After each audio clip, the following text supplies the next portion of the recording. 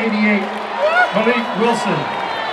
98-yard kickoff return, touchdown, North Carolina A&T.